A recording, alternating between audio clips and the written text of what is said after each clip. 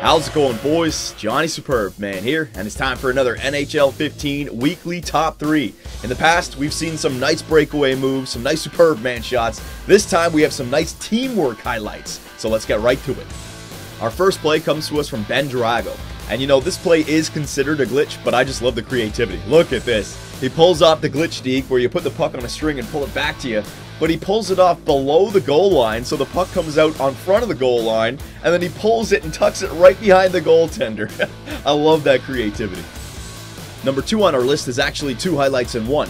A pair of nice highlight reel goals from Superbman and Kryptonite. First, Superbman pulls off a nice little old school Ric Flair and backhands it past the goaltender.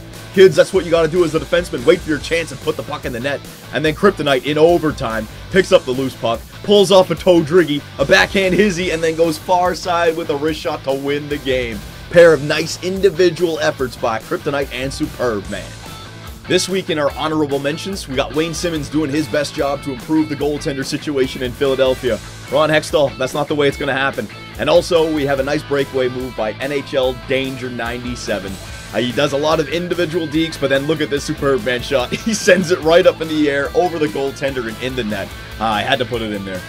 Number one this week, boys, is actually going to be multiple teamwork highlights. I've been reading your comments, and I've noticed that you guys don't want to see these breakaway moves anymore. And you know what? I agree. If you can make it flashy at the end of the shot, go ahead, send them in. But I don't want to see any more breakaways where you dangle 50 times before you get to the goalie. I want to see teamwork. So it's Kryptonite and Superbman back at it just making passes back and forth between each other. All right, I almost mess up right there, but I get the puck back. Now watch this. Nice little Ric Flair, nice little outside, back to the backhand, off the post, and in the net. But it all started with that break-in.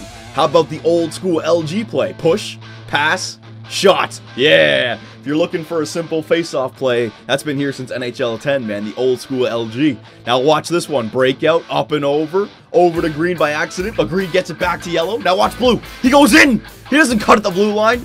All those complaints that I have about the AI, that's what happens when you fire towards the net after crossing the blue line, goofs. And last but not least, look at this. Nice little breakout by Teal. Up to yellow, over to blue. Blue sucks in a defender, back to yellow. Wait, wait, open goal, baby. Not a single deke needed in that. Just nice breakout passes and nice manipulation of human players. So again, boys, thank you for watching this week's top three. And again, I want to see more teamwork. I want to see more in-game highlights. I'm done with the breakaway superb man shots, all right? So send in some real highlights, boys. So if you want to send clips in for the weekly top three, this is how you do it. First, you need a Hotmail account. It needs to be Hotmail. When you have that, click on the icon on the top left, then click on OneDrive, and you can upload your file here. Now, we're looking for either the raw video file or the rendered file. Once you capture it, get it up, put it to the OneDrive, let it upload, and then send it to us. Once it's done uploading to the OneDrive, send an email to the email address business2bc at hotmail.com. Then insert the the uh, file that you uploaded to the OneDrive, all right, put something in the title where I know it's the top three, and then describe it with a little bit of a text, and then send it to us. Once you send it to us, on our end, we should be able to see the video where we can take it and put it into the weekly top three.